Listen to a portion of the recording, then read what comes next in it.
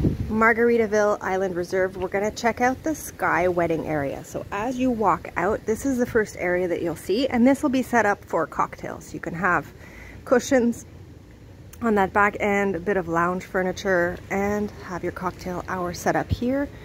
Now, you do have to go up a few steps, so keep that in mind if you have um, elderly guests or anybody with any mobility issues. It's eight steps to the top.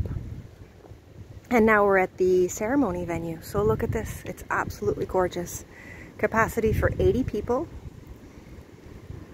There's an additional cost for this that's $1,500 and it does come with certain inclusions. You can ask us about any promotions that we might be able to have access to at the time that you're booking.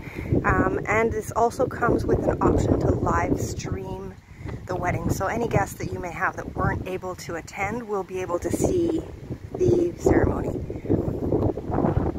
So from up here, I'm sure you can hear the wind. It's very breezy.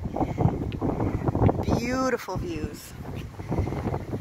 And this is Margaritaville Island Reserve in Riviera Cancun. We are Hola Weddings. Please let us know if you have any questions.